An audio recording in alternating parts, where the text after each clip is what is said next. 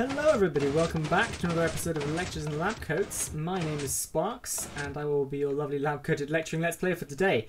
I'm very excited. Uh, I'm in the new Snapshot uh, 13 week 37A and using the new set block command um, I have a rather nice instrument panel for your adventure maps.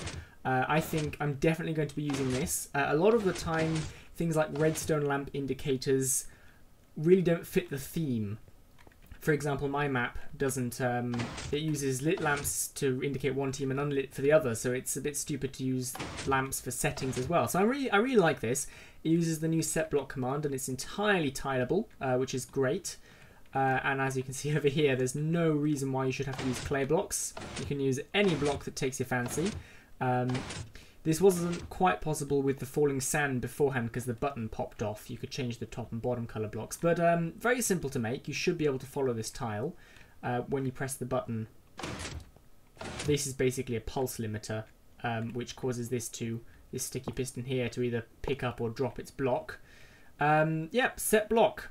Um, these are the coordinates. They're relative coordinates using a tilde, uh, and then this is 159, which is the red which is the clay block, I, uh, clay block ID, and 14 is the the color red.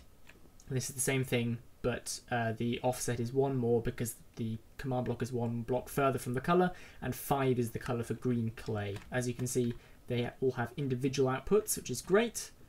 And um, it's worth bearing in mind that if you had this facing in that direction or any other direction, these relative coordinates would have to be changed. Uh, that might be minus 4, or that might be 0, and this would be 4 or minus 4, sort of thing. So bear that in mind when you're making, when you're making this. But uh, yeah, it seems very useful. Feel free to use this in your maps. Let me know what you think. Um, I am definitely going to be using this a lot in my map. Um, so yeah, thank you very much for watching, and I'll see you all in the next episode. Bye-bye.